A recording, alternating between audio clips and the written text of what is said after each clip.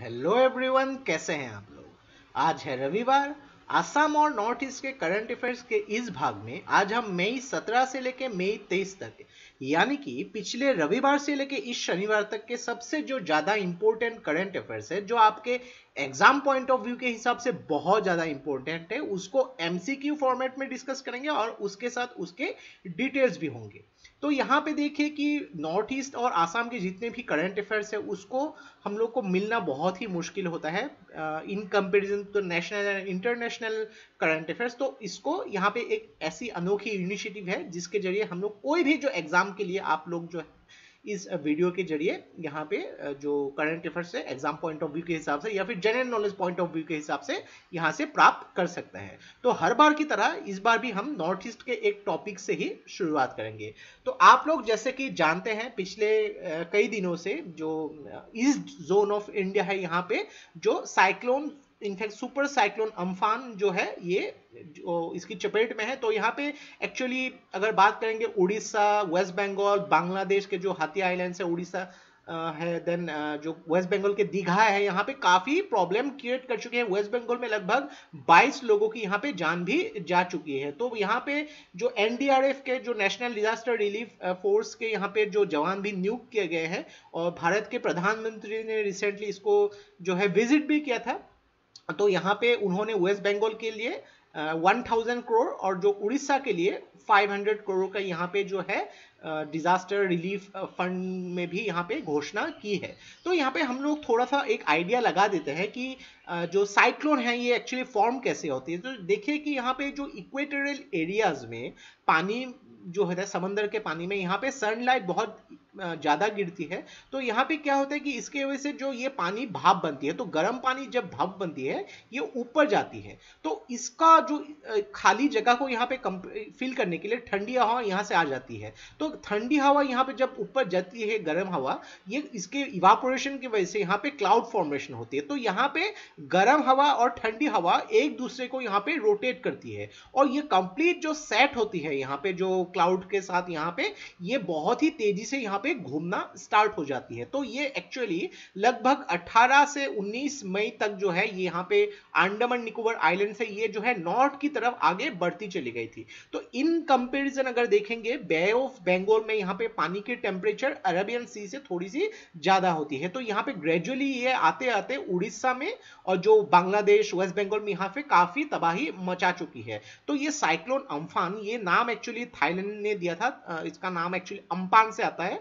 तो अम्पान का यहाँ पे मीनिंग है, एक थाई वर्ड है जिसका मीनिंग है स्काई, और ये 1999 के बाद जो है पहली बार जो है 21 साल में ये जो साइक्लोन अम्फान जो उड़ीसा में आई थी उस टाइम उसके बाद पहली बार ये यहाँ पे आई है। तो यहाँ पे अभी भी आप देख सकते हैं कि इसका जो इफ़ेक्ट नॉर्थ ईस्टर्न स्टेट्स में हो या फिर जो आसाम में काफ़ी ज़्यादा यहाँ पे पड़ रही है। स्पेशली जो वेस्टर्न पार्ट ऑफ़ आसाम है, मेघालय, यहाँ इस एरिया में काफ़ी ज़्यादा इसमें इफ़ेक्ट पड़ रही है। लगातार बहुत तेज बारिश और यहाँ पे स्टॉर्म्स भी आ रहे हैं। तो यहाँ पे जो है स्टेट डिजास्टर रिलीफ फोर्स के भी यहाँ पे जो जवान नियुक्त किए गए काफ़ी प्रिकॉशंस भी लिए गए हैं। जो आईएमडी इंडियन मेट्रोलॉजिकल डिपार्टमेंट यहाँ पे काफ़ी इनिशिएटिव लेने की भी बात की गई है। तो जैसे कि आप लोग जानते हैं, हमने अपना वेबसाइट है, उसको रिलीज़ कर दिया है तो यहाँ पे मार्च और अप्रैल महीने का जो करंट अफेयर्स का कंपाइलेशन, यहाँ पे आप लोग उसका पीडीएफ डाउनलोड कर सकते हैं। और रिसेंटली हम लोगों ने आसाम और नॉर्थ ईस्ट का जो फ्लैशबैक सीरीज़ 2019 इसका जो एमसीक्यू हम लोगों ने अपलोड किया है तो कंप्लीट एमसीक्यू जो है पूरे साल का आसाम और नॉर्थ ईस्ट के जो आपके एग्ज़ाम पॉइंट ऑफ़ व्यू के हिसाब से बहुत ही ज़्यादा इंपॉर्टेंट है। 200 बेस्ड क्वेश्चन जो यहाँ पे आपको उपलब्ध होगी तो यहाँ से आप उसको स्टडी कर सकते हैं। बहुत ही यूजफुल है।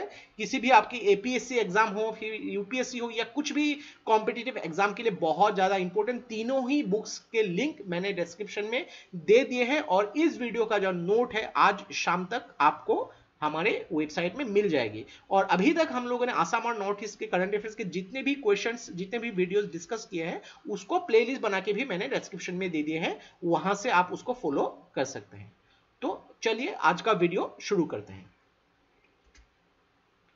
टुकलाई टी रिसर्च इंस्टीट्यूट, ये रिसेंटली न्यूज़ में थी तो ये टुकलाई टी रिसर्च इंस्टीट्यूट इसकी स्थापना कब हुई थी?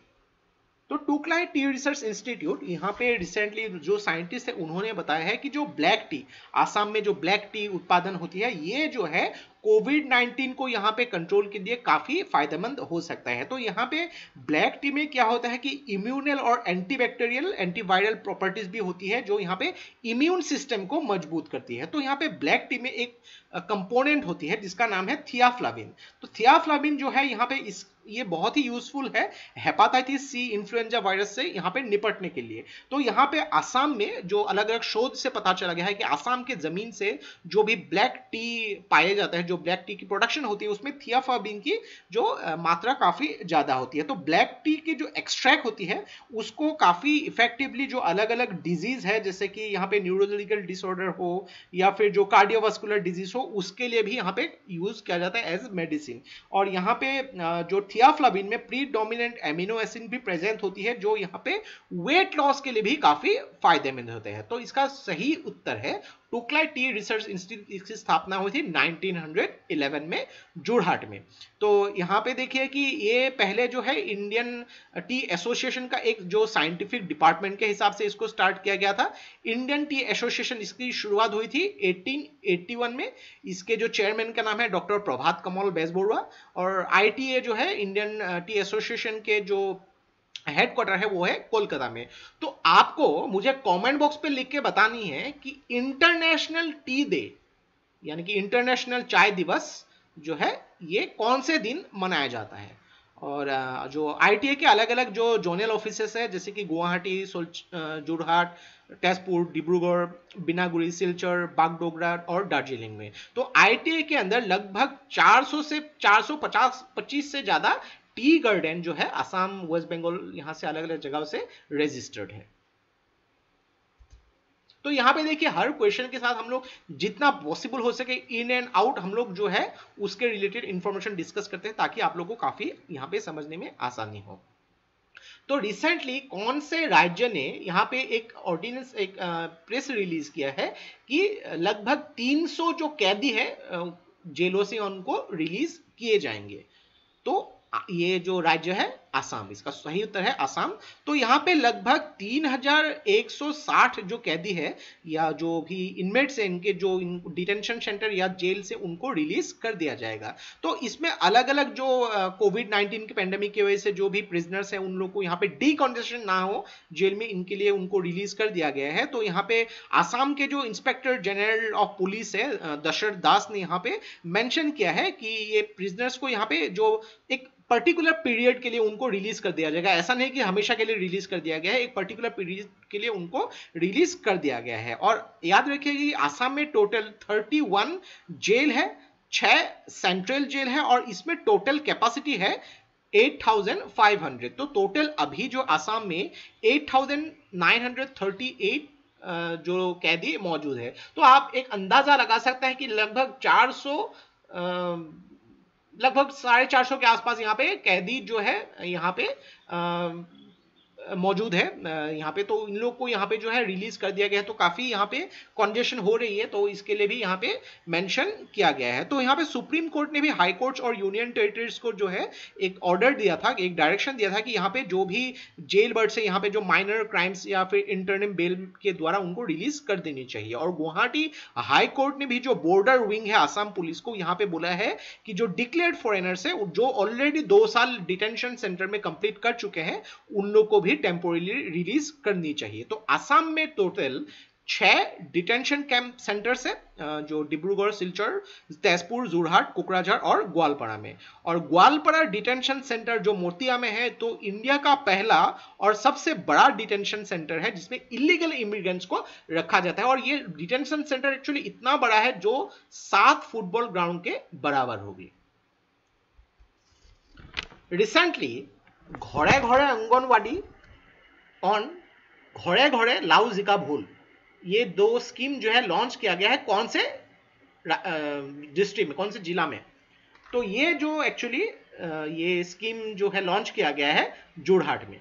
इसका सही उत्तर है जोरहाट। तो यहाँ पे जोरहाट के जो डेप्यूटी कमिश्नर है, एक कॉन्फ्रेंस के थ्रू यहाँ पे जो रोशनी कोराती जी है, उन्होंने इसको रिलीज़ किया है। तो यहाँ पे जो भी खरीफ वेजिटेबल्स है, उसके सीड्स जो है, लोगों को यहाँ पे डिस्ट्रीब्यूट किए गए हैं। तो यहाँ पे मेन ऑब्जेक्टिव क्या है? लोगों को यहाँ पे आत्मनिर्भर बननी चाहिए सेल्फ रिलायंट होनी चाहिए यहाँ पे, क्योंकि जो खरीफ वेजिटेबल्स है, इसकी जो है स्कारसिटी भी हो गई है और इसकी कीमत बहुत ज़्यादा बढ़ गई है। तो यहाँ पे जो भी अर्बन पॉपुलेशन है, उनको अपनी रूट समझनी चाहिए पुराने टाइम में। लोग कभी भी ऐसे जो चीज़ें जो है उनको खरीदने के लिए मार्केट के ऊपर डिपेंडेंट नहीं थे। उन लोग के घर में ही बहुत ज़्यादा जो अपनी फ्रूट्स हो वेजिटेबल्स हो, ये फिर जो भी एसेंशियल चीज़ें हैं मौजूद, हुआ करती थी। तो ये जो है फिर से स्टार्ट करने की बात हो रही है। और इसके द्वारा जो है कॉर्पोरेट सोशल रेस्पॉन्सिबिलिटी प्रोग्राम के तहत लगभग दस हज़ार जो सीड पैकेज भी डिस्ट्रीब्यूटेड किए गए थे।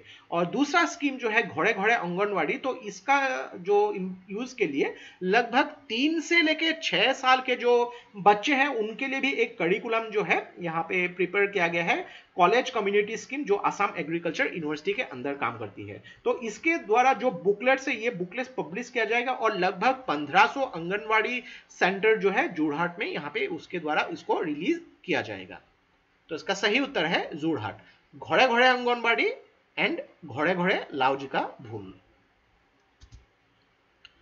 कौन से राज्य सरकार ने रिसेंटली अनाउंस किया है कि जो भी माइग्रेंट वर्कर्स जो है आए हैं उस राज्य में तो उन लोगों को तीन महीने के लिए फ़ूड ग्रेन जो है प्रोवाइड किए जाएँगे। तो आप देख सकते हैं अलग अलग जगहों से जो माइग्रेंट वर्कर्स आ रहे हैं तो आसाम में अभी जो है फ़िलहाल बहुत ज़्यादा यहाँ पे तेज़ी से, बहुत ही तेज रफ्तार से जो है यह कोविड नाइनटीन पॉजिटिव केसेस बढ़ती जा रही है तो यहाँ पे जो भी लोग यहाँ पे आ रहे हैं तो उसको जो है, तीन महीने के लिए फ़ूड ग्रेन्स प्रोवाइड किए जाएँगे तो ये डिक्लेरेशन दिया है आसाम में। तो यहाँ पे फाइनेंस मिनिस्टर जो है, हिमंत बिश्वा शर्मा ने उनको ये मेंशन किया है कि तीन महीने का यहाँ पे फ़ूड ग्रेड्स प्रोवाइड किए जाएँगे। तो यहाँ पे जो इकोनॉमिक पैकेज जो प्रोवाइड किया है सेंट्रल गवर्नमेंट ने 20 लाख करोड़ का जो आत्मनिर्भर भारत अभियान के हिसाब से तो यहाँ पे डिटेल में मैंने इसके ऊपर वीडियो बना चुका हूँ। और अगर आप लोग हमारे वेबसाइट में भी जाएँगे तो डिटेल में भी इसका एक्सप्लेनेशन मैंने किया हुआ है। तो यहाँ पे जो भी माइग्रेंट्स है, वहाँ पे उन लोगों को पाँच किलोग्राम राइस और तीन अलग अलग यहाँ पे जो फ़ूड ग्रेन्स जो है, तीन महीने के लिए उनको प्रोवाइड किए जाएँगे।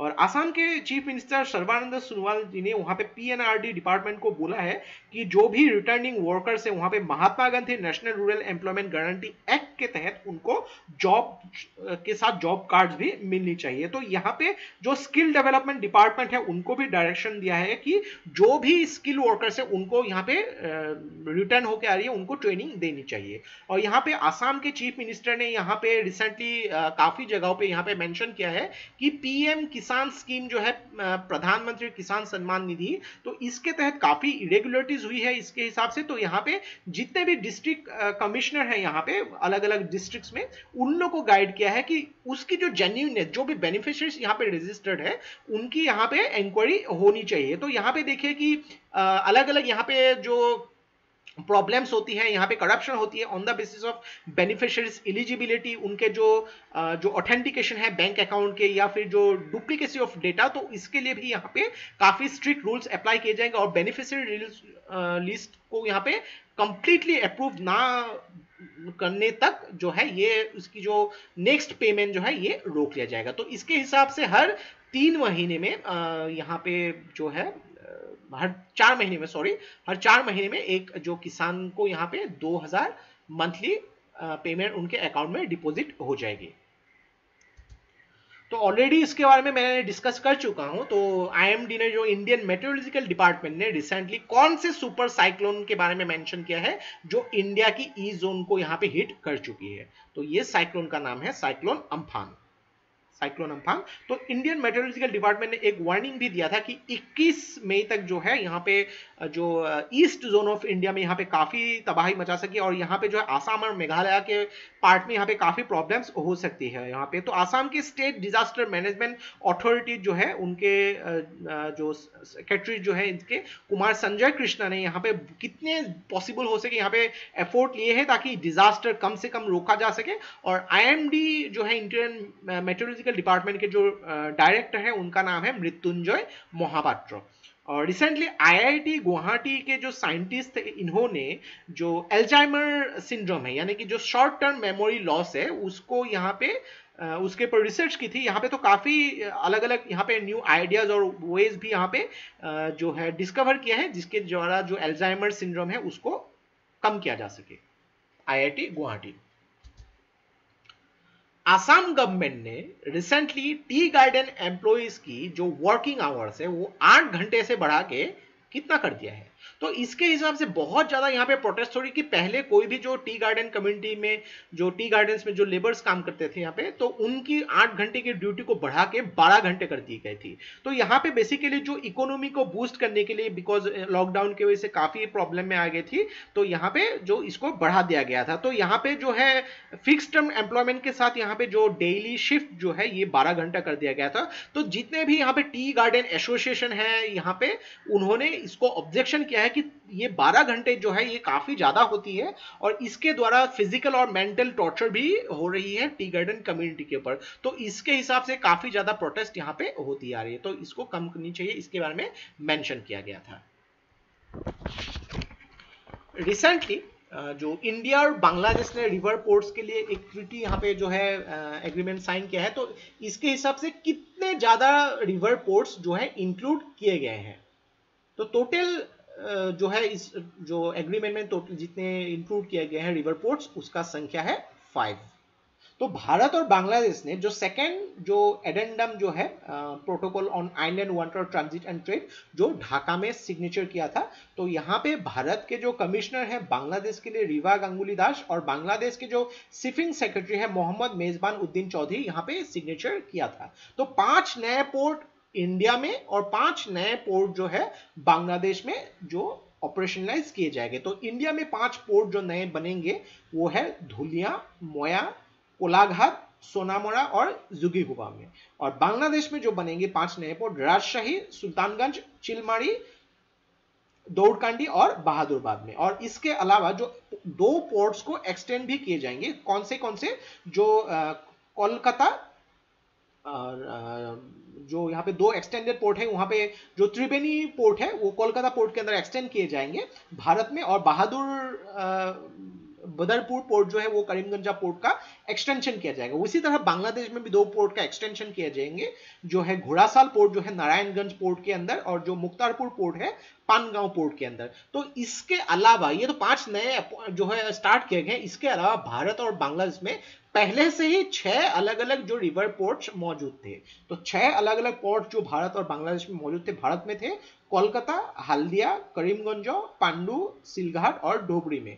और बांग्लादेश में थे नारायणगंज, खुलना, मोंगला, सिराजगंज अशुगंज और पानगांव में। तो इसके हिसाब से भारत और बांग्लादेश में अभी टोटल 11 पोर्ट जो है रिवर पोर्ट बन चुके हैं। तो 11 रिवर पोर्ट भारत में और 11 बांग्लादेश में। तो यहाँ पे बहुत इसकी इंपॉर्टेंस होती है। जैसे कि यहाँ पे जो इंक्लूड किए गए हैं, जुगी गुफा जो है इसके द्वारा क्या हो सकता है कि भूटान, मेघालय और आसाम को यहाँ पे काफ़ी मदद मिल सकती है, क्योंकि भूटान से जो भी स्टोन चिप्स आती है यहाँ पे थ्रू जो धुबरी में आती है तो यहाँ पे जो यहाँ पे अगर रिवर पोर्ट्स के थ्रू बांग्लादेश जाएँगे तो काफ़ी यहाँ पे कम टाइम कंज्यूम होती है। नहीं तो पहले क्या होता था कि जो धुबरी से लेके जो बांग्लादेश तक अगर पहुँचना था तो उसको आठ से लेकर दस दिन लग जाते थे। रोड से अगर जाना पड़ता है लेकिन अगर रिवर पोर्ट से इसको ट्रांसफ़र किया जाएगा तो ये लगभग 600 किलोमीटर का जो रूट है, काफ़ी कम टाइम में यहाँ पे इसको ट्रांसपोर्ट किया जा सकता है। और इसके अलावा जो है जुगी गुपा का जो पोर्ट है, उसको एक मल्टी मॉडल लॉजिस्टिक पार्ट के हिसाब से भी एस्टेब्लिश करने की प्रपोजल दिया गया है। सेंटर ने रिसेंटली एनवायरमेंटल क्लियरेंस दिया है, जो ड्रिलिंग एंड टेस्टिंग जो है हाइड्रोकार्बन्स के लिए, कौन सा नेशनल पार्क के लिए? तो ये नेशनल पार्क जो है डिब्रू सोइखवा नेशनल पार्क तो यहाँ पे ministry of environmental and forest and climate change ने यहाँ पे एक क्लियरेंस दिया है कि जो हाइड्रोकार्बन्स की यहाँ पे ड्रिलिंग एंड टेस्टिंग होगी दिब्रू सोइखवा नेशनल पार्क के सात अलग अलग जगहों पे। तो यहाँ पे इसको जो है एक्सटेंडेड रिच ड्रिलिंग टेक्नोलॉजी के हिसाब से टेस्टिंग किए जाएँगे। तो ये सेंटर का एक्चुअली एक टारगेट है जिसके द्वारा सेंटर जो है अपनी जो एनर्जी जो फ्यूएल उसकी इंपोर्ट को 10 प्रतिशत तक कम करनी चाहती है, और यहाँ पे नॉर्थ ईस्ट विजन 2030 जो है, इसके हिसाब से यहाँ पे नॉर्थ ईस्ट में काफ़ी पॉसिबिलिटीज है एनर्जी को, उसको यहाँ पे जो है इंक्लूड करनी चाहती है। तो यहाँ पे जो एक्सटेंडेड रिच ड्रिलिंग टेक्नोलॉजी है, यहाँ पे ये बोला गया है कि जो डिब्रू सोखा पार्क जो है तिनसुकिया और डिब्रूगढ़ डिस्ट्रिक्ट में फैला हुआ है यहाँ पे तो इसमें कोई भी लोगों को या फिर पर्यावरण को कुछ भी क्षति नहीं पहुंचेगी। और ये जो है extended drilling extended reach drilling technology इसके हिसाब से कोई भी अगर कुआँ जो है उसको खोदा जा सकता है लगभग चार किलोमीटर डेफ तक। और दिब्रू शोखा जो नेशनल पार्क है उसको बायोस्फीयर रिज़र्व के हिसाब से घोषित किया गया था 1997 में और इसको 1999 में नेशनल पार्क का दर्जा मिला था।